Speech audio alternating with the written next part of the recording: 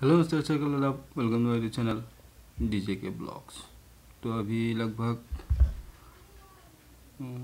छः पौने छः हो गए और मैं जस्ट अभी अभी सो के उठा हुआ हूँ क्योंकि बहुत ज़्यादा थक गया था क्योंकि मैंने अपना रूम जो मैं गुवाहाटी में लेके रह रहा था तो वो रूम खाली कर दिया आज। तो सब कुछ यहाँ घर में शिफ्ट कर दिया। तो मतलब भाई साहब, ऐसा हुआ ना कि वहाँ से रूम खाली करते टाइम तो एक घंटे में हो गया, लेकिन अब जो सामान वहाँ से लाए, उनको यहाँ पे संभालने में ही लगभग आज का दिन तो पूरा निकल गया, पर काम तो आधा ही हो गया है और बहुत सारे काम बाकी है, जो शायद से अभी लगभग मेरे ख्याल से और एक दिन या दो दिन लगने वाले हैं उनको संभालने में। क्योंकि वहाँ से जब सब कुछ खोल के लेके आता हूँ तो सब कुछ जल्दी जल्दी हो जाता है। पर उनको यहाँ पे आके संभालने में बहुत ज़्यादा टाइम लग जाता है तो आज का दिन तो मतलब ऐसे ही निकल गया उन चीज़ों को संभालने में तो कल का दिन भी शायद ऐसे ही चला जाएगा। पर वीडियो ऐसा कुछ नहीं बनाया क्योंकि इतना ऐसा टाइम नहीं मिला कि मतलब कैमरा को यहाँ पे सेट करे, वहाँ पे सेट करे, फिर वीडियो शूट करे। इन सब के लिए मतलब टाइम नहीं था क्योंकि काम बहुत ज़्यादा था और जब मैं गुवाहाटी से आ रहा था ना तो मतलब असम में पिछले कुछ दिनों से इतना ज़्यादा बारिश हुआ है ना मतलब हर जगह पे बाढ़ के जैसा हालत हो गया मतलब पानी एकदम भर गया है सब जगह पे। और और मेरे घर से गुवाहाटी जाने में रास्ते में एक जगह आता है अमीन गाँव करके, वहाँ पे मतलब ऐसा ज़बरदस्त लैंडस्लाइड हुआ है ना कि कि रास्ता पूरा ब्लॉक हो गया है। मतलब ऐसे पूरा आधा पहाड़ ही ऐसे टूट के रास्ते पे आ गया है तो उसके वजह से रास्ता ब्लॉक हो गया। और एक दूसरे रास्ते से हमको घूम के आना पड़ा। मतलब वो इतना ख़राब रास्ता था ना, और इतना ट्रैफ़िक जाम मिला कि 20 किलोमीटर कवर करने के लिए दो घंटे से ज़्यादा लग। गए तो उन सब में भी बहुत टाइम गया। तो चलो, जो होता है अच्छे के लिए होता है सर अभी लॉकडाउन होते होते लगभग चार महीना तो हो गया और मैं अपने पढ़ाई के सिलसिले में गुवाहाटी में रह रहा था। तो मतलब अभी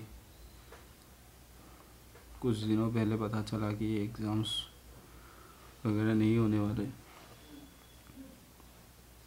तो फिर वो जिस रूम को मैं रेंट में लेके रह रहा था तो उसमें वैसे मतलब ऐसे ही पैसा देते रहने से कोई फ़ायदा नहीं है तो इसलिए आज जो है वो रूम खाली कर दिया।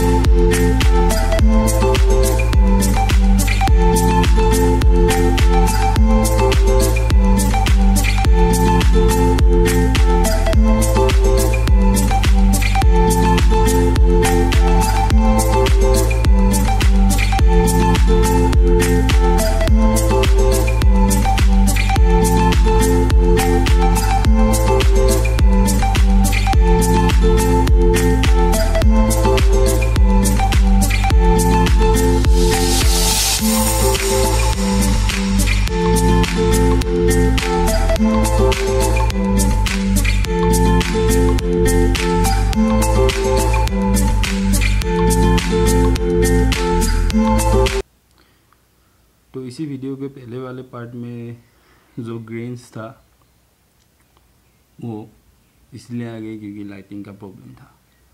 पर मैंने एक हल निकाला है। अभी मोबाइल का फ्लैश जलाया हो, उससे वीडियो शूट कर रहा हूँ। तो मतलब हमारा देश तो ऐसे भी जाना जाता है ना जुगारी के लिए। तो हम भी जुगार कर रहे हैं। तो आज के लिए बस इतना ही। मिलते हैं अगले ब्लॉग में। Thank you for watching the video. Thank you being a part of your day.